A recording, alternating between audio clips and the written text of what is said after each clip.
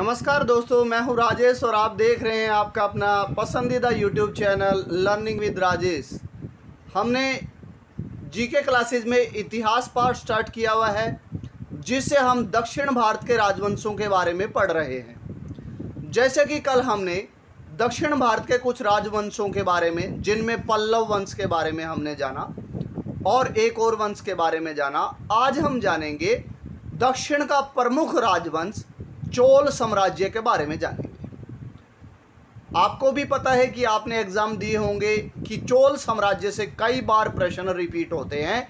इसलिए दक्षिण भारत का महत्वपूर्ण राजवंश माना जाता है चोल साम्राज्य, जिसे कई बार एग्ज़ाम में प्रश्न आते हैं। इसलिए मैंने आज की टॉपिक इसे चूज़ किया है। तो देखिए, सबसे पहला पॉइंट आता है कि चोल साम्राज्य के संस्थापक विजयालय माना जाता है। तो सबसे पहले आपसे यही प्रश्न पूछा जाएगा कि चोल साम्राज्य के संस्थापक कौन है? आप बताएँगे विजयालय उसके बाद चोल साम्राज्य की राजधानी का क्या नाम है? चोल साम्राज्य की राजधानी तंजावुर है, जिसे तंजोर भी कहा जाता है। आपने पहले कई बार पढ़ा होगा कि जहाँ राजराजेश्वर मंदिर है। उसके बाद हम जानेंगे कि चोल साम्राज्य का सबसे महत्वपूर्ण शासक राजराज प्रथम हुए हैं, जिनके युग में चोल साम्राज्य का महान युग माना जाता है। ऐसा क्यों कि उनका साम्राज्य यानी उनका शासन महान क्यों माना जाता है चोल साम्राज्य के लिए?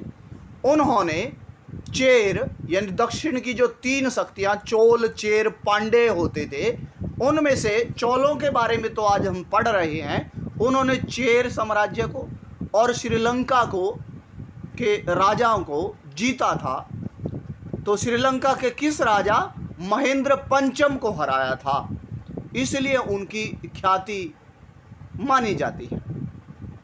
उनके पास महत्वपूर्ण नौसेना होती थी, नेवी होती थी। और तंजावुर में राजराजेश्वर मंदिर, जिसे वृदेश्वर मंदिर भी कहा जाता है उसका निर्माण राजराज प्रथम ने करवाया था। और कक्षा सात में आपने जाना था कि राजराजेश्वर मंदिर के वास्तुकार कुंजर मल्लन पेरुथच्चन हैं, जिसके बारे में कई बार एस्टेट में प्रश्न भी आता है। आई होप कि आपको पहला पॉइंट अच्छे से समझ आया होगा कि राजराज प्रथम के बारे में वेरी वेरी इंपॉर्टेंट प्रश्न यहाँ से आता है। मैंने कई बार एग्ज़ाम में देखा है कि तंजावुर का राज राजेश्वर मंदिर किस चोल शासक ने बनवाया था? और किसके पास महत्वपूर्ण नौसेना थी?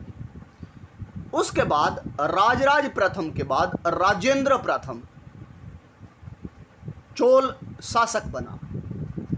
उन्होंने गंगई कोंड चोल अर्थात गंगा घाटी की विजय जो की, वो उनकी महत्वपूर्ण विजय मानी जाती आपसे अगला इंपॉर्टेंट प्रश्न पूछा जाएगा कि गंगा घाटी की विजय का श्रेय किस चोल शासक को दिया जाता है? आप जवाब देंगे राजेंद्र प्रथम को। और उसके बाद उन्होंने गंगई कौंड चोल, यानी गंगा घाटी को जीतकर चोल साम्राज्य में मिला लिया था। तो वहाँ पर एक राजधानी स्थापित की, जिसका क्या नाम रखा उन्होंने? गंगई कौंड चोलपुरम। उसको अपनी राजधानी बनाया। आपने पढ़ा, शुरुआती राजधानी तंजावुर है, चोल साम्राज्य की। लेकिन राजेंद्र प्रथम ने गंगई कोंड चोलपुरम को भी अपनी राजधानी बनाया। राजेंद्र प्रथम के बाद राजाधिराज प्रथम चोल साम्राज्य के प्रमुख शासक हुए हैं। चेर पांड्य संघ को उन्होंने तोड़ा, जो कि उसकी महान उपलब्धि मानी जाती है और उन्होंने इस विजय के उपलक्ष्य में असमेघ यज्ञ किया। अब आपसे प्रश्न पूछा जाएगा कि किस चोल शासक ने चो चेर पांडे संघ को तोड़ा और उसको विजित किया, उसके बाद असमेघ यज्ञ किया? आप जवाब देंगे राजाधिराज प्रथम। कई बार डिफ़िकल्टी टाइप में सीरीज़ में भी पूछ लिया जाता है प्रश्न कि इनमें से चोल साम्राज्य के शासकों की कौन सी सीरीज़ सही है? तो आपने पढ़ा पहले राजराज प्रथम, फिर राजेंद्र प्रथम, फिर राजाधिराज प्रथम, और उसके बाद राजेंद्र द्वितीय राजेंद्र द्वितीय की महान उपलब्धि मानी जाती है कल्याणी के चालुक्यों को पराजित करना।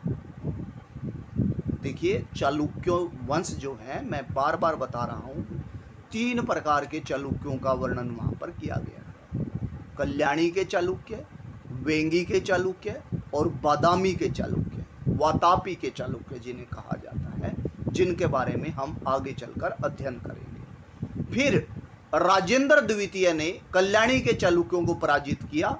उनके बाद वीर राजेंद्र चोल वंश का महत्वपूर्ण शासक हुआ, जिनको, जिन्होंने राज केसरी की उपाधि हासिल की। आपसे पूछा जाएगा कि राज केसरी की उपाधि से कौन शासक चोल साम्राज्य में हुआ है? आप बताएँगे वीर राजेंद्र। उनके बाद कुलोतुंग प्रथम। कुलोतुंग प्रथम जो है, वो चोल वंश के महत्वपूर्ण शासक हुए और उनको करों को हटाने वाला माना गया है। यानी करों में रिलैक्सेशन उन्होंने प्रजा को दी। अंतिम महत्वपूर्ण शासक राजेंद्र तृतीय माना जाता है, चोल वंश का। उसके बाद ये तो हमने चोल साम्राज्य के महत्वपूर्ण शासकों के बारे में पढ़ा, अब हम चोल प्रशासन के बारे में पढ़ेंगे, क्योंकि ये आपका वेरी वेरी इंपॉर्टेंट पॉइंट बनता है यहाँ से। वेरी वेरी इंपॉर्टेंट कि चोल साम्राज्य, चोल प्रशासन कैसे काम करता आपको पता है कि उनके प्रमुख राजा होते थे। जैसे अभी आपने पढ़ा, राजराज प्रथम, राजेंद्र प्रथम, राजाधिराज प्रथम, राजेंद्र द्वितीय कुलोतुंग तो वो प्रमुख राजा जो थे, वो महत्वपूर्ण प्रशासक होते थे सबसे पहले।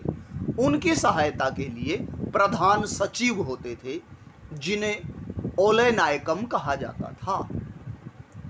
ओलय नायकम।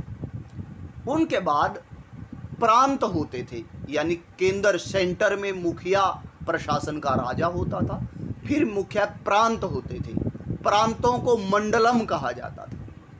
वेरी वेरी इंपॉर्टेंट पॉइंट मैंने कई बार एग्ज़ाम में देखा है कि चोल साम्राज्य के दौरान जो प्रांत होते थे, उन्हें क्या कहा जाता था? क्योंकि यहाँ कन्फ्यूजिंग पॉइंट है और कन्फ्यूजिंग पॉइंट एग्ज़ाम में आते हैं। उनके यहाँ पर जिला जो होता था, उसे वलनाडु कहा जाता था। और गाँव का समूह जो होता था, उसे नाडू कहा जाता था। और गाँव जो होते थे, उन्हें कुर्रम कहा जाता था।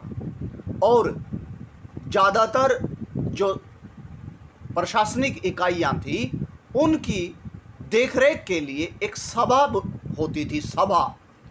कुछ संभ्रांत लोगों की, यानी महत्वपूर्ण लोगों की एक सभा होती थी, जिसे सभा कहा जाता था। तो आप पढ़ेंगे कि वो सभा चुनी कैसे जाती थी? उसके लिए क्या योग्यताएँ होती थी? कक्षा सात एन हिस्ट्री में आपने जाना था। मैं रिवाइज करवाऊँगा आज। तो देखिए, आपने पढ़ा कि प्रशासन कैसे काम करता था। उसके बाद स्थानीय स्वशासन। कि जो स्थानीय स्वशासन, जिसमें आपने पढ़ा कि गाँवों का समूह होता था और उसके बाद गाँव होते थे, जिन्हें कुर्रम कहा जाता था। अब जो गाँवों में कुछ सभाएँ होती थी, अभी जिसका ज़िक्र मैंने किया कि सभाएँ जो होती थी, वो मुख्य काम काज की देखरेख करती थी गाँवों में या फिर उच्च स्तर पर भी। उत उत्तमेरूर अभिलेख में स्थानीय स्वशासन का वर्णन किया गया है तथा बताया गया है कि सभा की नियुक्ति कैसे की जाती थी। अर्थात सभा का सदस्य बनने के लिए क्या योग्यताएँ होनी चाहिए, ये लिखा है उत्तमेरूर अभिलेख में। और आपने पढ़ा था कि योग्यता क्या होनी चाहिए? यदि आप चोल साम्राज्य में किसी सभा का सदस्य बनना चाहते हैं तो आपकी उम्र 35 से 70 के बीच होनी चाहिए। आपको वेदों का ज्ञान होना चाहिए। आप ईमानदार होने चाहिए। और आप, आपकी खुद की भूमि होनी चाहिए। और उस पर आपको टैक्स भी अदा करने होना चाहिए। ये मैंने आपको एडिशनल पॉइंट बताए कि वहाँ पर चोल साम्राज्य में सभा का सदस्य कैसे बना जाता था। तो सभाएँ कई प्रकार की होती थी। जैसे उर उर जो होती थी, वो सर्वसाधारण लोगों की ग्राम सभा होती थी। सर्वसाधारण जैसे गाँव के सभी साधारण लोग। उसके बाद सभा जो होती थी, वो वरिष्ठ लोगों की सभा होती थी। वरिष्ठ लोग, जिसका बार बार ज़िक्र हो रहा है कि सभा होती थी, सभा। वो वरिष्ठ ब्राह्मणों की सभा होती थी। और नगरम जो होती थी, वो नगरम व्यापारियों की सभा होती थी। नगरम। Very very important point exam के लिए पूछा जाएगा कि चोल साम्राज्य में व्यापारियों की सभा को क्या कहा जाता था, क्योंकि हमने मौर्य, मौर्योत्तर काल, गुप्त काल में पढ़ा है, जो कि कंफ्यूजिंग पॉइंट है। कहीं पर उन्हें श्रेष्ठी कहा जाता है, कहीं सार्थवाह कहा जाता है तो यहाँ पर नगरम कहा जाता है। तो उसके बाद हम जानेंगे कि जो चोल समाज कैसा था, चोल समाज में वे लाल होते थे, जो कि महत्वपूर्ण कृषक होते थे, धनी किसानों को वे लाल कहा जाता था। उनकी कला बड़ी फ़ेमस थी। चोल साम्राज्य की कला बहुत ही फ़ेमस थी। मंदिर निर्माण कला में वो बड़े प्रसिद्ध थे, जैसे आज आपने पढ़ा, राजराज प्रथम ने वृद्धेश्वर मंदिर, जिसे राजराजेश्वर मंदिर भी कहा गया है, उसका निर्माण करवाया। तो उनके जो मंदिर होते थे, वो द्रविड़ शैली में बने होते थे। जैसे कि आप जानेंगे कि जो मंदिर निर्माण की तीन प्रकार की शैलियाँ होती थी। बेसर शैली, नागर शैली और द्रविड़ शैली। द्रविड़ शैली के मंदिर ज़्यादातर दक्षिण भारत में पाए जाते हैं। तंजावुर का राजराजेश्वर मंदिर भी द्रविड़ शैली का महानतम नमूना माना जाता है। और कांस्य की मूर्तियों के लिए चोल साम्राज्य विश्व भर में प्रसिद्ध था ब्रॉन्ज स्कल्पचर के लिए, जैसे कि आपने एन बेस में पढ़ा है। आई होप कि आज की वीडियो आपको अच्छे से समझ आए होंगे पॉइंट्स यदि आप मेरे यूट्यूब चैनल पर नए हैं तो please subscribe the channel like and share also thank you and have a good night